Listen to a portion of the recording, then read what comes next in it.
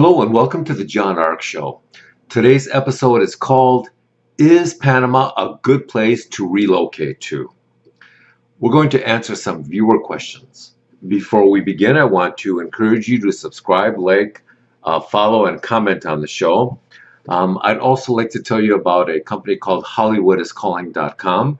It allows people to purchase a live call uh, for $19.95 for that's a 15 second call, or you can purchase a 30 second call for $29.95. So give it a try. It's called HollywoodIsCalling.com. Now let's get started. First question is from Lucy, and she writes Is Panama really a good place to relocate to for financial reasons? How safe is it to live there? Well, the cost of living in Panama is considerably lower than the cost of living in places like New York or California, but you have to remember the quality of life is also much lower. Uh, you have to get used to frequent power outages and loss of internet service for hours or days at a time. You also have to you also have to get used to an economy and a job market that is much smaller and has fewer opportunities than the US market. On the plus side of the equation, the cost of healthcare is much more affordable and the people there are really nice. I'm also seeing a lot of people who relocated down there and uh, it turns out they can actually afford to live right on the ocean, which is something they could never do in the United States because of the high prices. Um, if you want to move there and you want to start a business of some sort, um, then that could dramatically increase your chances of succeeding. Uh, if you're just uh, going down there to live off your pension, then that's certainly possible, but you have to live uh, very carefully within your budget. Uh, one thing a lot of expats say is that you should live there for a year before you buy a home, and, and I'm a firm believer in that as well. You know, the reason for that is sometimes the culture shock of living there is so dramatic that a lot of people decide they want to leave after six to 12 months. And you don't want to be settled with a, you know, with the need to sell a house at that point. You want to be able to just leave. So rent before you buy in Panama.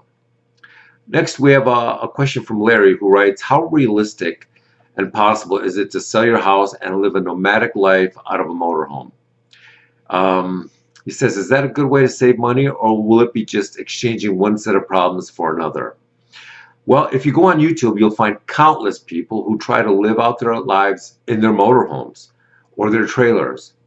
You know, the people I've spoken to say selling your house is a bad idea what seems to work uh, better for them is to travel two, three, or four months of the year and spend the rest of your time uh, living in your home.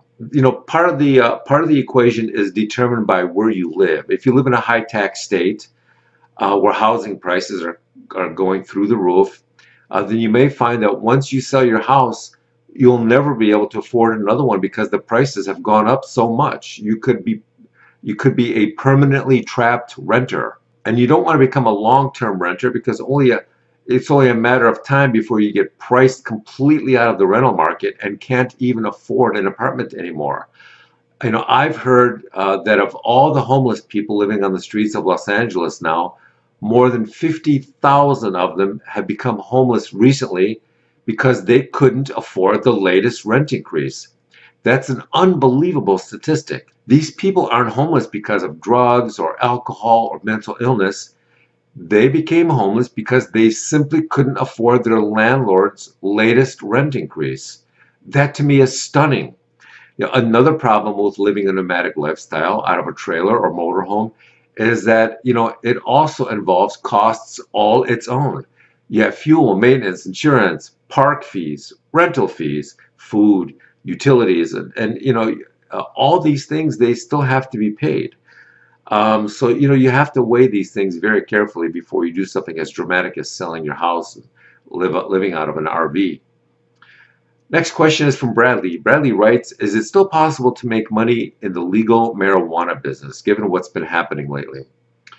Well, I'm hearing that the legal marijuana stores in Los Angeles are basically empty and that many other stores in other cities are struggling because people just don't have the money for legal drugs. Uh, some of the customers are buying their marijuana from illegal dealers so they can get cheaper prices, but that's always tricky because it's not regulated. You don't know what you're getting, and you could always end up getting arrested, which involves even more legal costs. The other issue that, uh, now that nobody wants to talk about because it's not politically correct is that, you know, eh, but it's something that everybody is thinking about, and that is if smoking is bad for your lungs, and all of the recent uh, issues have been lung related, then how smart is it to keep smoking?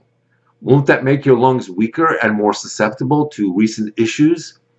I suspect uh, that on some level, without publicly admitting it or discussing it, a lot of people are smoking less because they are worried about weakening their lungs and becoming more susceptible to to the uh, to the issues out there, to the current health crisis. Uh, the other unresolved problem with the marijuana business is that on a federal level, it is still illegal. You know, and that creates a lot of issues in and of itself.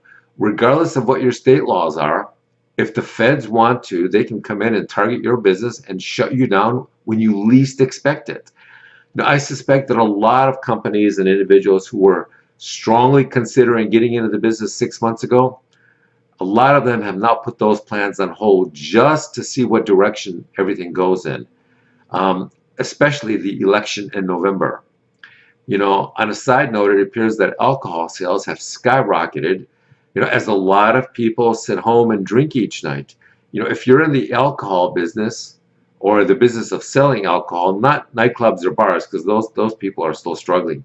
But I mean, if you if you sell alcohol at the retail level, uh, then you're probably doing pretty well. Next, we have a question from Ellen. Ellen writes, "What's the best and least expensive way to fix a car problem?" Very common question we get. The first thing you should do is go onto Google and and check the symptoms to see if anybody else out there has had a similar problem. You should also go on YouTube and, and watch some videos posted by people who've also had the same problem that you have with the same make and model car. Uh, see if those can help you fix your own problem. If it's simple enough, you'd be surprised at how often you can fix it, even if you know very little about cars. Those uh, YouTube instructional videos are amazingly helpful. But if none of that works, then you should ask friends or family for, for good recommendations on a mechanic. If that's not possible, then go on Yelp and find some really highly rated local mechanics with, with great feedback. Call six or seven of them and get their opinion on the phone, and then pick one that you think is most com competent and trustworthy. Next question is from Trinity. Trinity writes, is organic food really worth all the extra cost of buying it? Well, some stores like Walmart are increasing the size of their organic grocery departments and they're trying to drive down the price of organic foods. You know, at the end of the day, you know, everybody has to live within their budget. Uh, there's no doubt that uh, uh, that most organic food is better and healthier for you, but only if you uh, if you can decide that your budget can handle those high prices. You know, I think that generally speaking, it's best to avoid processed foods and packaged foods, and just stick with meat, fruits, and vegetables. I tend to avoid things that are sold in a can, a box, or a bag. I try to stick with natural foods, so that's something you might want to think about. Next, Cone writes, uh, my accounting and bookkeeping business has taken a real hit this year. What should I do? Small accounting and bookkeeping businesses are being challenged by a number of issues. The first is the growing sophistication of all the accounting software packages out there uh, that are now available for small businesses. Uh, as more of this technology gets enhanced with artificial intelligence, then its popularity will continue to grow. The next issue is that the government is constantly re, uh, reducing the regulations and simplifying the tax code, which means that business owners will need less accounting advice uh, in the coming years. Next, we have a question from Connor. Connor writes, I'm thinking of opening up a large outdoor flea market. I've seen them work in other areas. Does this sound like a viable business to you? I think that depends on the land costs and all your other overhead. Remember, even if you open it up tomorrow, it can take years for a business like that to generate enough vendors, customers, and revenue to turn a profit. I've seen, you know, indoor flea markets work in some depressed areas, but generally speaking, the cost of real estate is very difficult for them. Outdoor flea markets can work, but there's even but there's even growing competition in that space uh, and that's driving down their profit margins. Uh, next question is from David. David writes, I'm thinking of starting a private security firm to protect stores and private property. What do you think? Well, I'm amazed at how many retailers still refuse uh, to increase their, their security in light of recent events.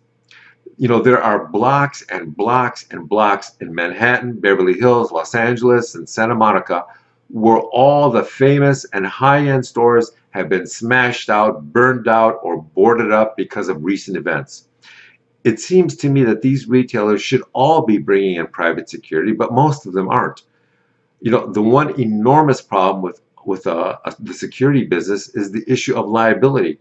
It's a very risky business, and when things go wrong, you could get hit with so many lawsuits that exceed the coverage of your insurance company that uh, that you end up not being covered, and that could bankrupt you. So with that, I want to thank you for watching, and we will talk to you soon.